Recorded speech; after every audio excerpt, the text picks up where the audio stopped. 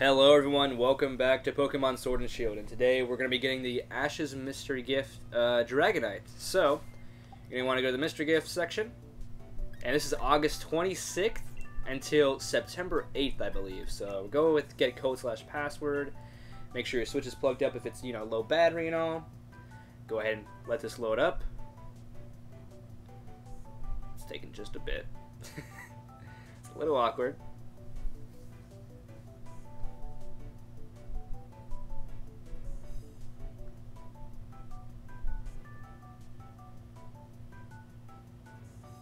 I mean, I guess I'm gonna start reading the code out for you guys. If you guys want to go ahead and do it, if it's loaded faster for you, code is UM1N0KESH1N. Again, that was UM1N0KESHIN.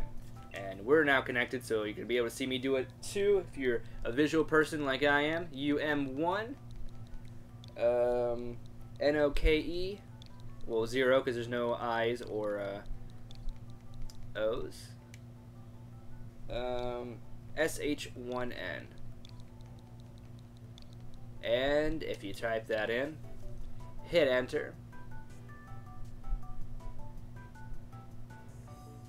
Ah, Ash's Dragonite gift, or um, Dragonite's gift, or Satoshi, as he is known in the uh, the Japanese anime, I believe. That's his uh, his name over there yeah, these these guys are all Japanese. Um, the one last week was Dracovish, so if you missed that one, sorry.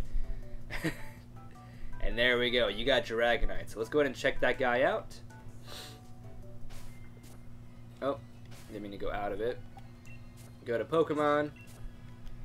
And Dragonite is right here. And let's check him out. Check her out, I mean. Dragon Flying.